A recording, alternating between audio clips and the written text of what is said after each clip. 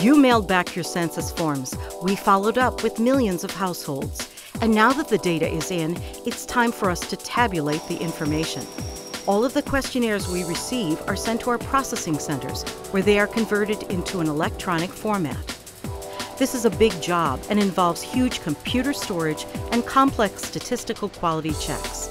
Then, as the Constitution requires, the Census Bureau tallies the new population totals for each state.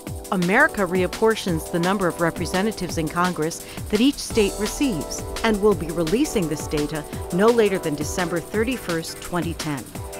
The 2010 census journey is coming to an end. This marks a new chapter in our nation's history.